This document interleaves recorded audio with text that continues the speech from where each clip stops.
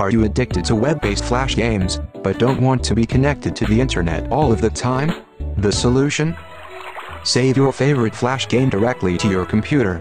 You can then play the game anytime you want in a suitable flash player. Step 1. Download a Flash Player application.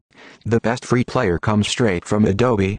Download the Flash Player 10 projector for either Windows or Mac. Follow the directions for saving and installing this application on your computer. Step 2. Do a Google search for your favorite web game.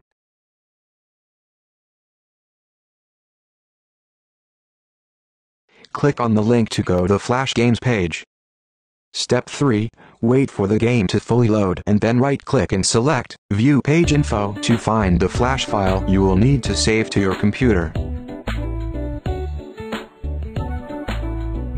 Step 4. In the Page Info pane, select the Media tab. Step 5. Scroll down to find the address of the flash game, which will end in SWF. It's usually the first file with that extension. Highlight it. Step 6.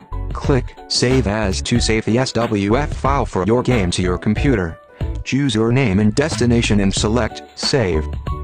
Step 7. Close out all windows and turn off your internet connection to test out the game. Open the web game up with the Flash Player application you downloaded earlier. And that's it. You can now play your favorite web-based Flash game anytime you want, without an internet connection. Enjoy.